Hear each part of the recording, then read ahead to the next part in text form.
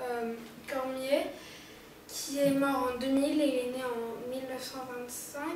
Il a écrit ce livre euh, deux ans avant de mourir, donc en 1998. Et il s'est consacré à, la, à écrire des livres en 1800 1978, parce qu'avant il était journaliste. Euh, euh, c'est l'histoire en fait de la tendresse.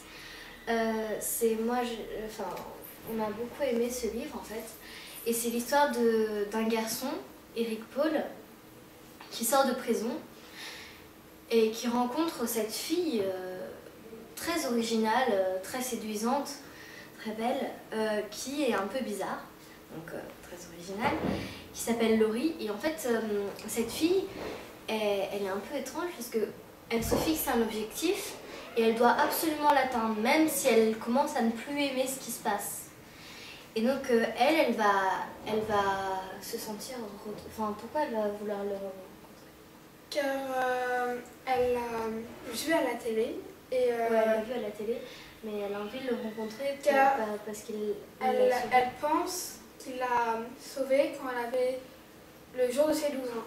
Il lui a sauvé la vie en fait, parce qu'elle elle marchait à la Elle gare. marchait et euh, Il y a des mo- monsieur, Des- des motards. des motards, ouais, qui sont arrivés, qui ont commencé à lui parler un peu euh, avec des sous, enfin des insinuations oui. un peu.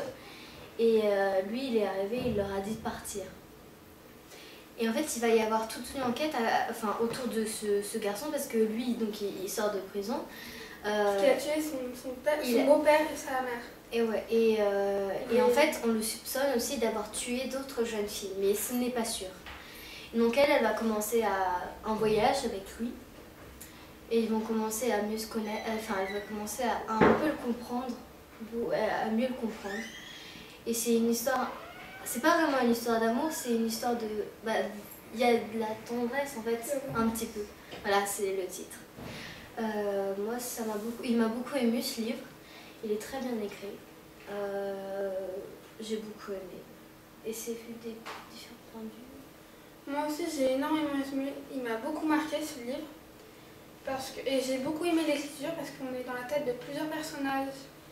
Et j'ai trouvé que c'était vraiment très bien. Que j'avais pas vu beaucoup, beaucoup de livres euh, avec ce, ce genre de. Avec ce genre d'écriture.